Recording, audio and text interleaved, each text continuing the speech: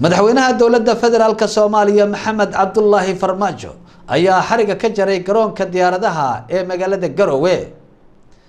Warkan waxaa inoo haya wariyaha telefishinka soomaaliya cable jaamac dabaraani oo garowe jooga madaxweynaha soomaaliya maxamed cabdilaahi farmaajo ayaa maanta xariga ka jaray dhismaha cusub ee garoonka diyaaradaha ee magaalada garowe.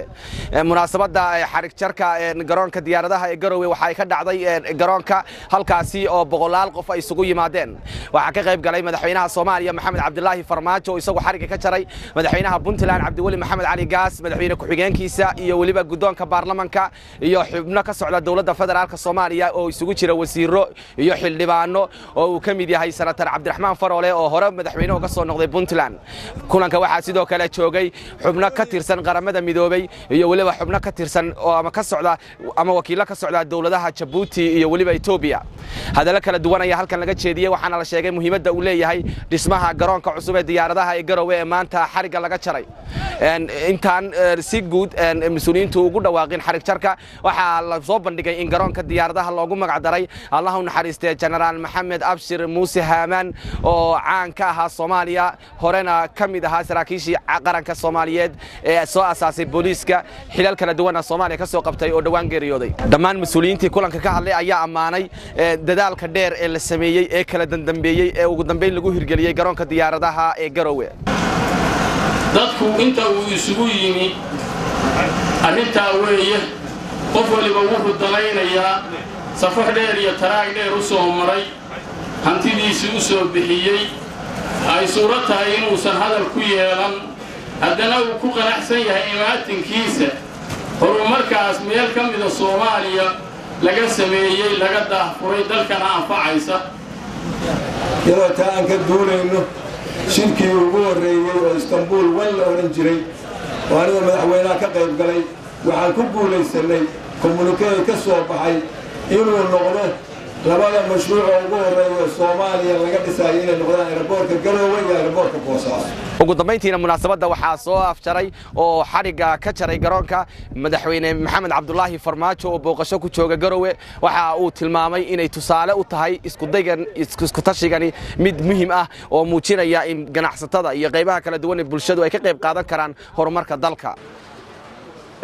Waxaan aaminsannahay wax badan oo ka sii tiro badanna ama ha noqdaan dekado ama ha noqdaan jidad ama ha noqdaan kaabayaasha kale ee dhaqaalahana waanu qabsanaynaa waana ay noo socdaan hadda laftigeeda. Oo in badan oo kaabayaal dhaqaalo oo waddooyin leh oo dekada leh ayaa noo socda oo dhammaantoodna ku imaanayska isku tashigeeni aeroboorkan marka madaxweyne wixii ay puntland qaban kartay waa qabatay waana aragtee waxaa dhiman dhammaystirkiisii annaga intaasay nagaga egta wixii ka dambeeya dhammaystirkeeda idinka ayaa laydinka sugayaa waxaan aaminsanahay marka haddii meel walba nabad ay timaado soomaaliya si dhaqsi ah inay dib ugu soo noqonayso kaabayaasheeda dhaqaalaha. Waxaa kaloo muhiima inaad dul qaadataan. Shacabku inuu dul qaato.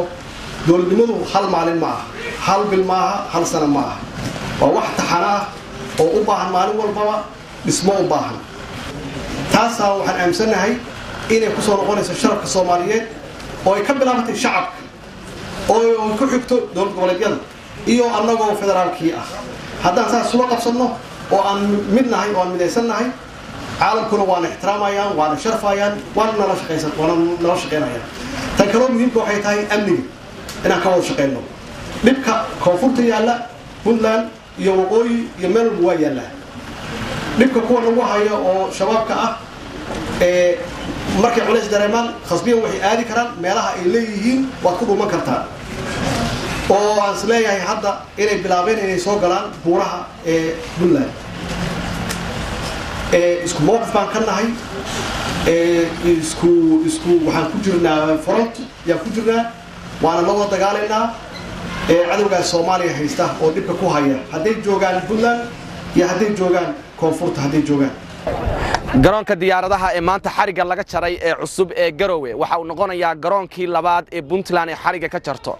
Hore waxaa xarigga looga jaray oo sidaan kale xaflad loogu qabtay garoonka diyaaradaha ee boosaaso xilligaasi oo xarigga ka jaray madaxweynihii hore ee soomaaliya xasan sheekh maxamuud. Waa jaamac debaraani oo ka soo hadlaya somali cable t v garowe